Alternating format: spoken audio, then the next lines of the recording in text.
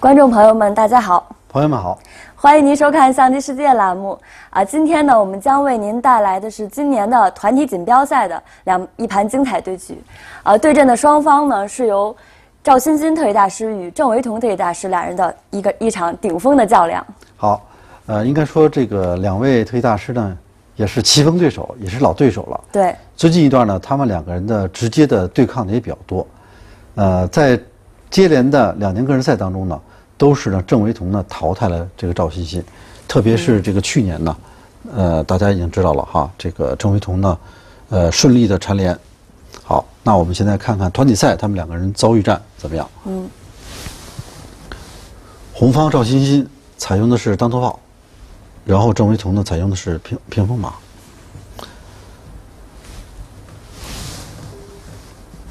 然后红方上是兵七进一。这个骑兵呢，也是赵欣欣呢比较喜爱走的开局，然后黑方马二进三，红方车一，黑方象三进五，这儿呢就是形成了一个中炮直车，中炮横车，七路马对阵黑方平马补三象的这么一个基本的布局定式。接下来红方走车一平四。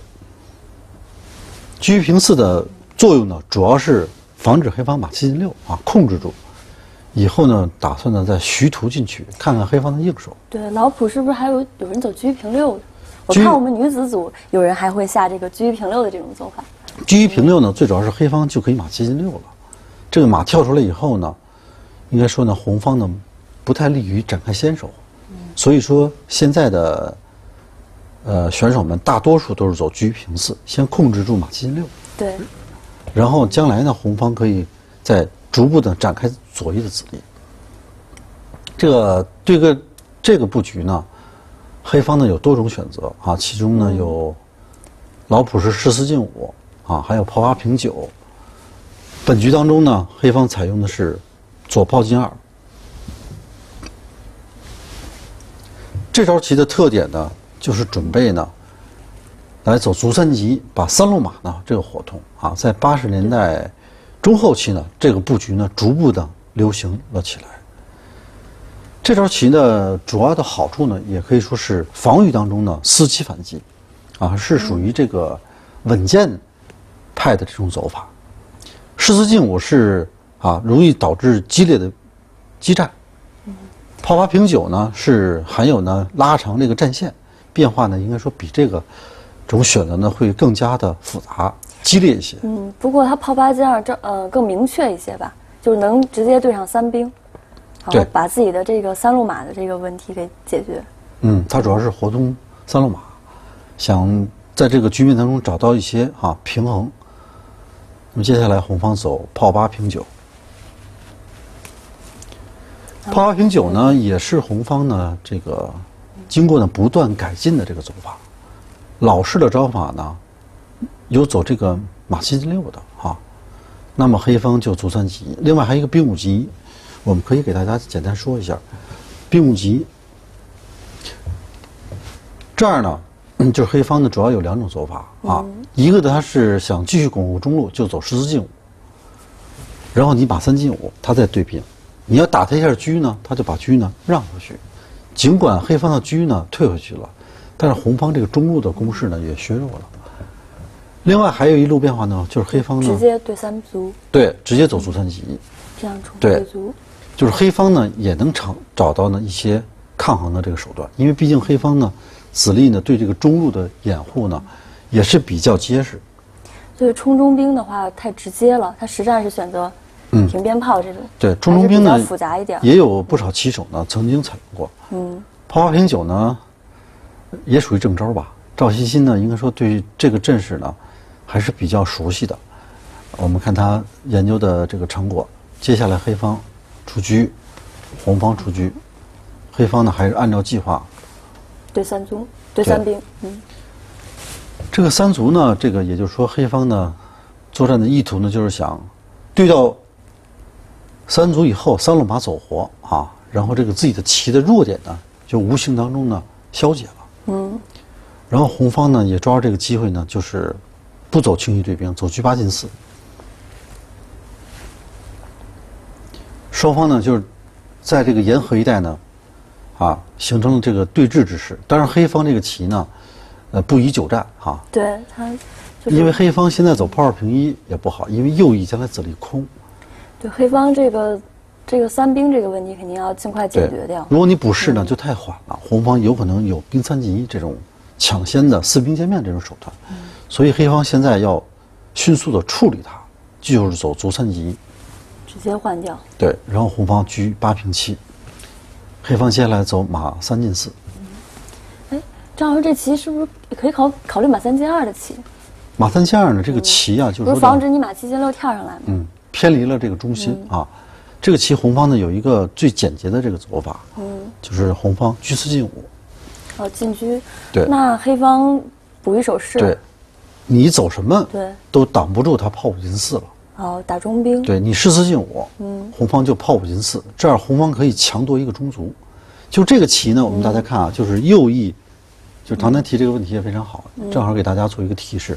黑方右翼这个车炮马在同一条线上，它这个整体的布局来看呢，这个缺乏一美感，它像一个啊一条黑线。对它呢就是说的这个所谓这种协调啊、高低配合呀，啊，太单一了，不容易展开子力。对所以黑方马三进二呢是一个不明显的坏棋啊，最主要脱离这个中心啊，它没有掩护到这个中路。尽管你有七路马保护中卒，但这个象棋啊，这个跟国际象棋这个原理一样啊，也是讲究这个中心作战，特别是在中炮类的这种布阵当中啊，对，那车车马炮这一条线，这个对。它偏离主战场。了，是的，嗯，黑方马三进四是正着。马三进对。四走法。那么走到这儿呢，就是红方呢有两种走法，第一种走法就是走车四平八，平车呢吊住黑方的这个二路的车炮，但是黑方呢也可以呢通过这个运车呢来解围，他走车八进一，将来可以车八平二再连上。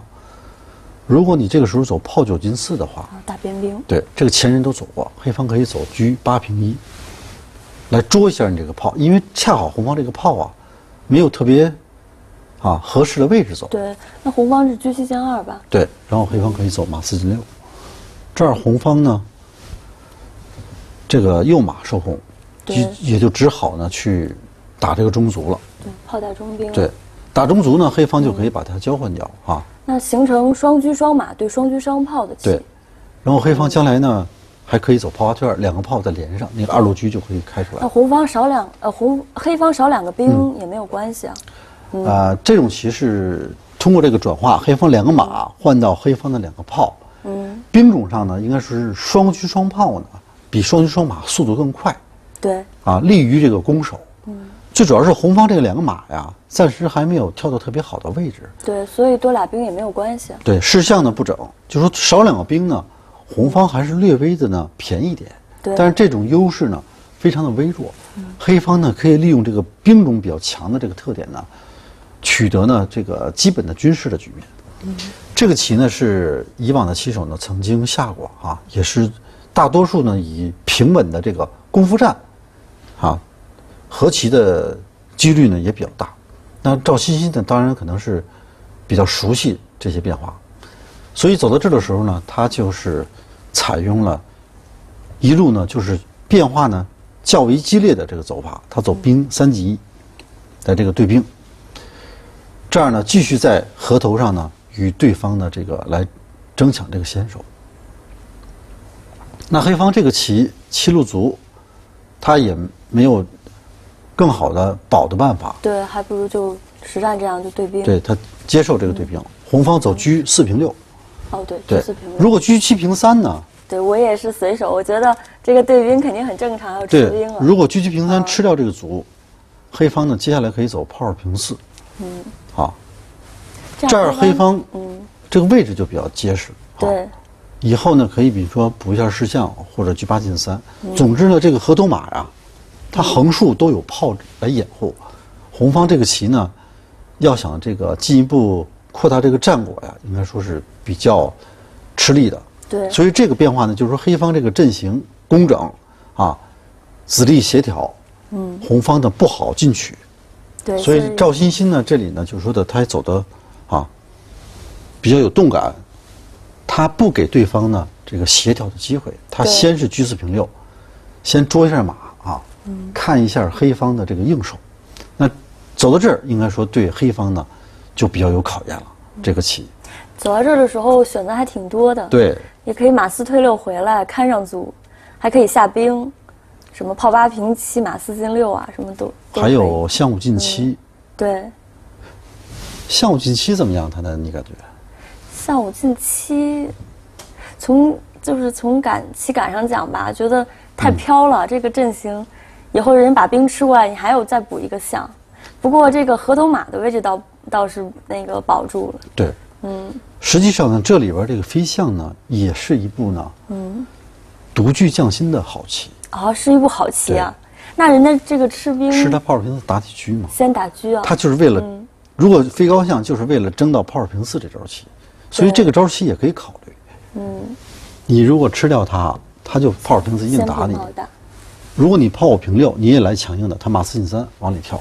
哦，跳进来，对，你这个棋可能还要车逃啊。对，车六平四先，啊那对方呢可以啊强硬的支一招士，就说败你这个象吃。如果你吃掉它，它飞你是先手，将来它这八路炮呢有平炮，这个向右翼移动的来攻击你的这个手段。对，那红方这边压力还挺大对的，，就是黑方这也是一种下法，也值得呢进一步研究。就是黑方大致呢就可以这么走，这是一种呢可行的这个走法。另外呢，就是黑方还有一种看上去也能够接受的这个走法，就是直接走卒七进一。因为我的马暂时呢回呢，这个还是最好不要考虑。对，回来去可能还要再被人家捉一下，对捉呀，这个什么炮九进四，它都是先手。对，那么这个马回到那个位置并不好，就是可以考虑与对方呢进行这个转化。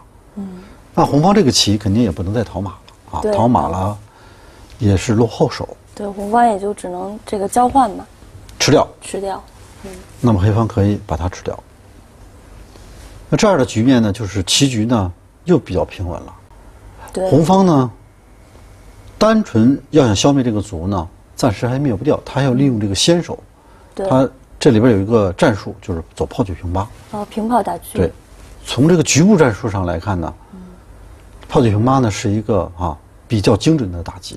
那黑方这个车是也只能车二平一回去了。对，车二平三的话，你就上当了。这个很简单，车七进五，一吃车，车六进二，一捉双。这样丢子了，对，平炮也平一，被红方又打一下。对，马七进八也是红方的，呃，肯定是优势啊。对，所以就只能回车回车二。平一呢，是看上去呢，呃，北区似乎是有一点，但是也无关大碍，因为毕竟红方这个炮呢，也是白走了一步棋嘛。对，然后接下来红方可以走车六进二，车六进二对。黑方这个地方呢，既可以炮二进四，也可以炮二平一，嗯，那如果炮二平一呢？炮二平一也没什么问题对，啊。就说红方早晚要把这个卒捉回来，对那黑方可以平卒，好，这样进行交换。对，嗯，再拱，然后红方再打。黑方呢可以保住，或者要再简单一点，就直接对这个中炮。哦，这这进行一系列的大换子。对，当然说黑方如果想保这个卒的话，因为黑方这两个车的位置不好，对黑方也可以先车八进三保住，嗯，然后以后根据需要再走炮八平五。对，这个其实整体来看呢，红方仍然小优一点，嗯，但是呢，这个由于黑方呢这个阵型也比较结实，呃，也应该说问题不大。对，总之呢，这里边有黑方有多种选择，所以说红方啊这种走法呢，也也是对黑方的一个考验，就是到底你临场当中怎么去应对。那么郑惟桐呢，在临场实战当中呢，应付的呢就有了一些问题，给了这个红方呢可乘之机。对那到底黑方怎么应的呢？而红方呢又是如何进攻的呢？我们稍后呢再继续给大家讲解。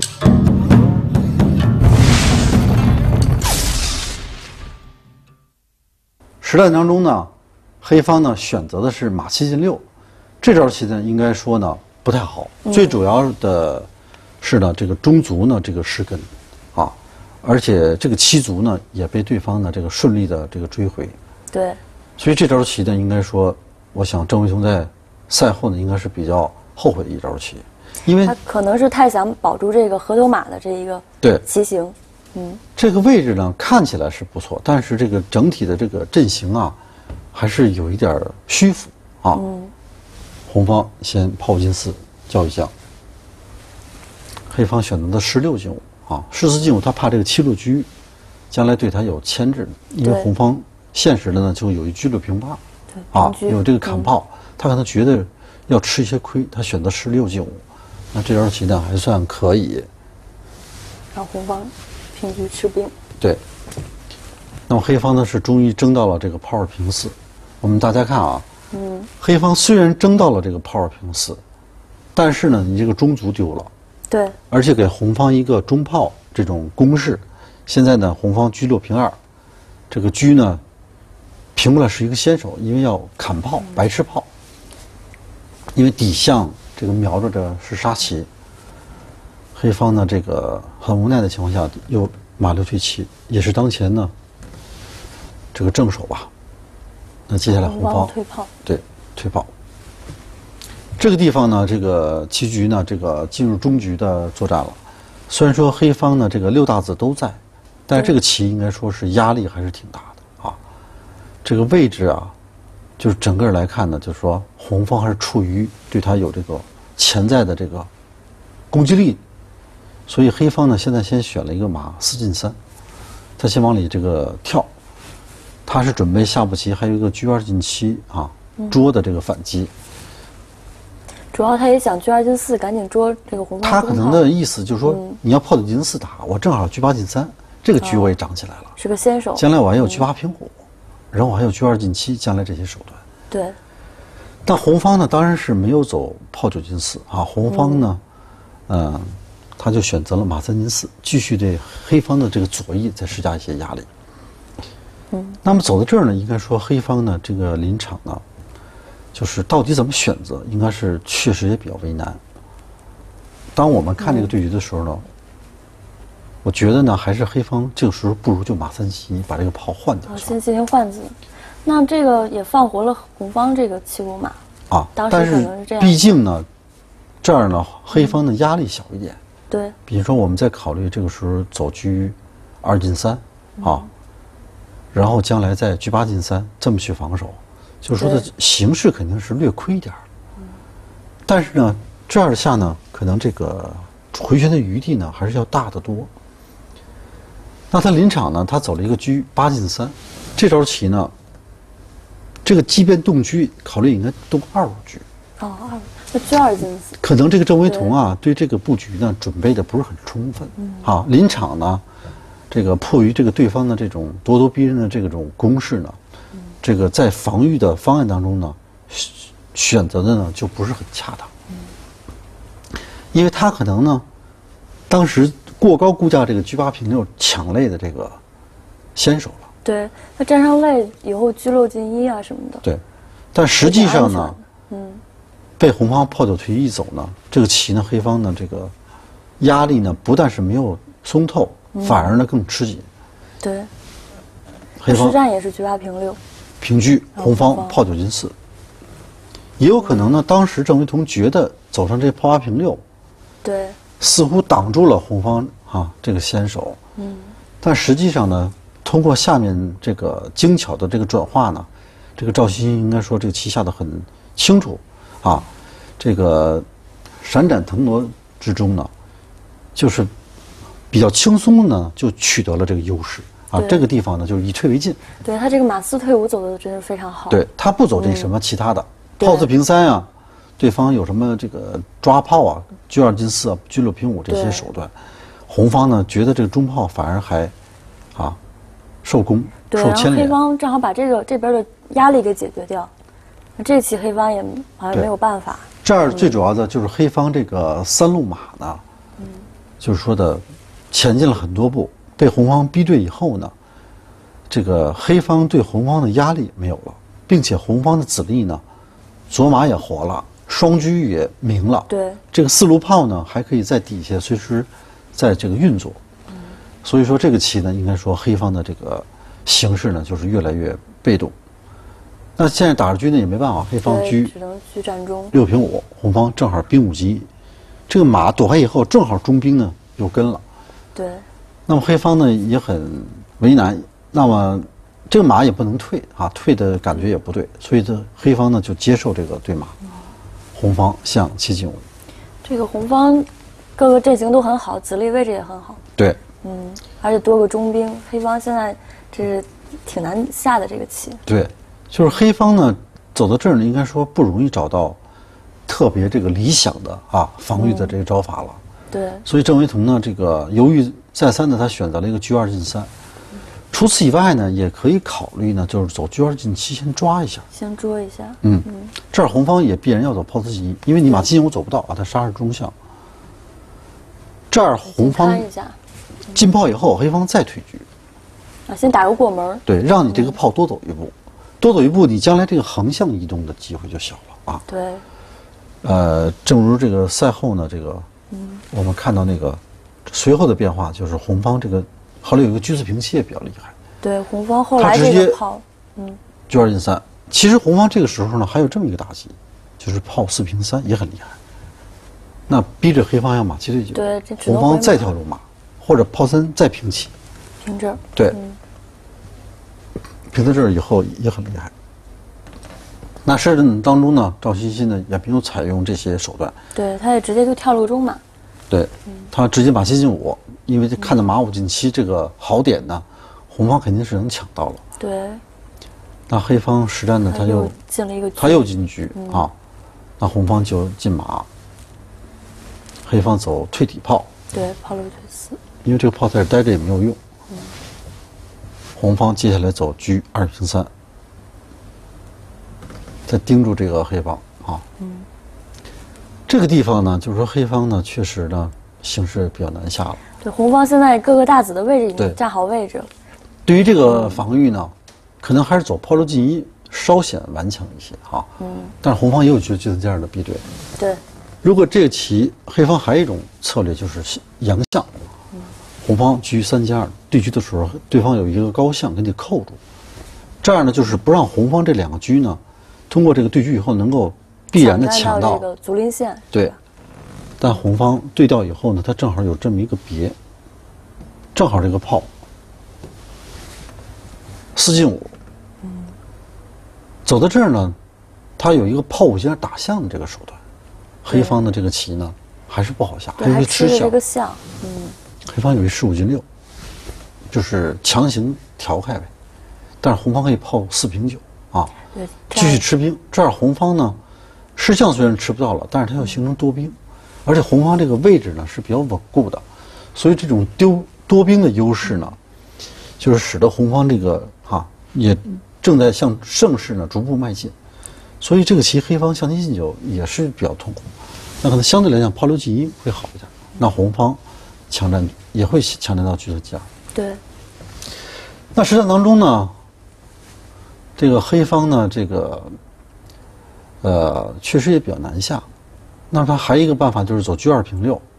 嗯，车二平六，红方可能也会把炮调过来，炮四平八什么。炮平八，我就再过来吧，再车六平二吧。然后再拦住。嗯。啊，这个棋呢，就是说的。可能相对来讲呢，像七进九能够保证这个棋呢，阵型更工整一些。嗯，但是这个就是少兵，因为红方有一个卡炮，一阳是他在打兵，那可能炮六进一会稍好一点。炮六进一的话，红方可能也要车三进二，你对调，这个棋他也比较尴尬，因为这个你这个打车吧也不厉害，他就可以。让一下，主要这个河头马太厉害。对他将来这个马七进八比较厉害，你打一将他支个势，你撕炮，他将来老帅还要出来助攻。对，好，而且这个花式象这个炮四，这个平过来以后很厉害，或者红方呢，居三平六捉炮也可以，他也是个先手。那吃个底象没有什么对实际的这个后续的招法。嗯，那可能就居二平六，居二平六呢，他又感觉也是吃亏啊。对，就这个这个时候呢，就是红方又多兵，这个河头马又很厉害，嗯，所以这时候黑方已经很处于坚守的这么一个状态。但这招居五平六呢，肯定是更不好，对，因为这个平车以后呢，被红方抢着这个车三进二，等于这个黑方顷刻间呢，这个棋就崩溃了。对红方开始平车的时候，就是为了要对车。如果你要是对车的话，红方吃过来，现在红方有炮四平三，有马七进八，有多种这个占优的手段，啊，如果你炮六进一的话，我也可以可以马七进八，还有多种手段。对，我还最简单的啊，这个逼对你你都受不了。然后这样换掉。对，嗯，你看你打掉，我一吃又我又吃炮，我又吃底下，就这个棋黑方也是换不起了啊。所以说红方的位置都太好了。对。这个棋就是黑方呢，这个被红方车三进二这点一抢上以后，这个棋就顷刻间呢就崩溃了。对他，他也不能换，他就长起车来。对，赶紧吃这个中兵吧。对，接下来红方走了一招很凶的这个招法。对，这个可能当时黑方呢也忽略了红方这个杀手锏啊，他走了一个炮四平七。这招棋啊太凶了，就看着黑方。这个马七进八，这个往里跳卧槽又叫闷弓的这个手段呢，黑方已然是防不胜防。嗯，就是黑方怎么守，已然无法抗拒这个马七进六的这个杀招了。对。那么黑方无奈当中呢，走了一个炮六进三。对。依然进马。这个中炮啊，这个卧槽马这个攻势太厉害了。对。这也没办法，这赶紧。黑方炮四平三。对，赶紧平炮。红方挂角一将。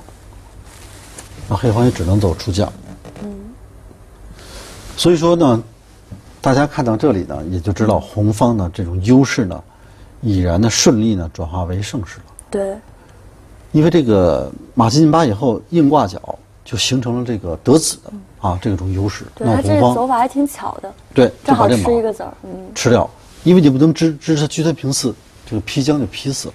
对，那你这个炮呢闪呢也没有好位置闪。你闪，他还可以先砍你一个象。总之，现在暗含着车三金二砍象的棋。总之，黑方这个棋呢，这个阵型呢，已经凌乱了哈。对，实战就赶紧过车，先杀了一步棋。当然，这好像也也不是一个那个，就是先威胁一下红方。嗯，这招棋呢，反正就是黑方可能时间也很紧张。对。这个先走一步再说吧，啊。嗯，因为这个棋他守也守不住了，那么红方。又很简单，他把这个底象再砍掉，正好是一个八角马。对，你落掉，他车再吃，你老将上不来。这个这个杀法还是挺精妙的。嗯嗯。那么最后红方是走，红方是车三平二，前车平二。嗯，他这个士都不要了。实际上红方也可以补一招啊。对。